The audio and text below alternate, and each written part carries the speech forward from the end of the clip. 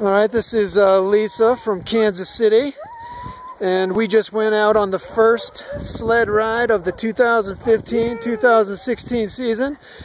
How did you enjoy yourself? Oh, I loved it. Out of all the dog sled rides you've done in your life, how does this one compare?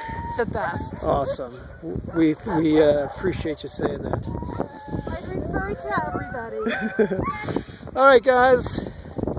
We'll see you on down the trail.